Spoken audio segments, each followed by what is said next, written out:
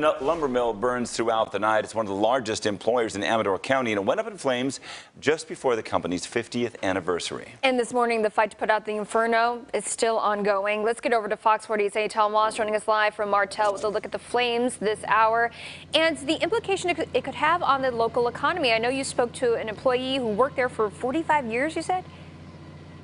Yes, 45 years is really amazing. That's almost the entirety of the entire mill's lifespan. And now, well, the mill is basically no more, Melanie and Richard. You can see here. Now, that employee telling me what you're looking at here, what actually what we thought was like a 20 foot high wall there actually was part of a larger facility, which was a roof. The entire roof, he says, has collapsed. What you're looking at where that water is spraying there, it's been spraying all night.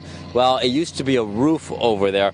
Now, this uh, is all here at the Ampine Lumber Mill in Martell. The fire started yesterday afternoon when flames ripped through the mill, tearing down walls, leveling buildings, and nearly destroying the entire facility. Now, employees say calls for a fire went out over the radio, giving them only moments to grab their things and get out. With wood chips and raw lumber on site, Ampine Lumber Mill was the last of its kind in California, set to reach its 50th year of operations next month. It's a devastating economic loss for Amador County because, well, this mill provided millions of dollars of taxes for the county each year, and now one employee who worked here for 45 years says he's devastated a lot of these people, that's their whole livelihood.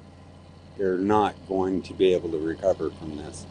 If they don't rebuild it, which I hope they do, this is pretty scary. It is a shock. I've never seen a fire of this magnitude ever.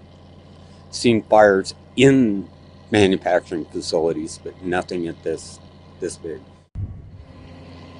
And fire crews remained here all night long and will likely stay here for the next couple of days, making sure embers do not rekindle any fires to the surrounding areas. And as we come back here live, that's really important because we've seen some of the embers jump the walls here. Now they create just tiny little spot fires, but of course firefighters want to make sure that those little spot fires do not turn into anything bigger than that. Now the cause of this entire fire is under investigation.